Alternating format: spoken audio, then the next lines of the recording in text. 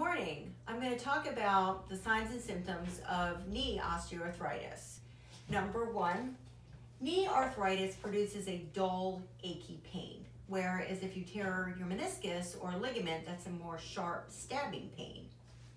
Number two, it produces more of a diffuse pain, whereas the whole knee hurts. The front of the knee, the side, the back of the knee, where if you have a ligament tear or a meniscal tear, the pain is very localized. It's in one particular area, you can put your finger on it.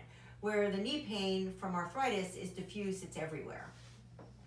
Number three, patients with knee arthritis will have pain at night.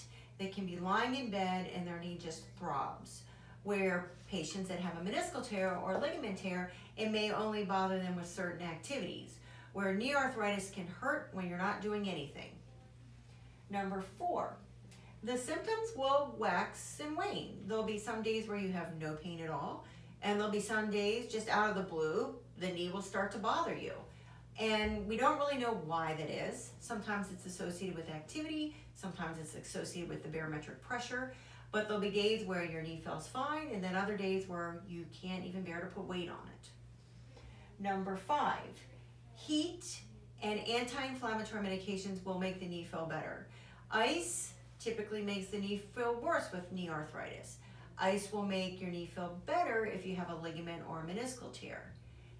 Anti-inflammatory medications, which are specifically directed to reducing inflammation, tend to make the knee feel better. Thank you.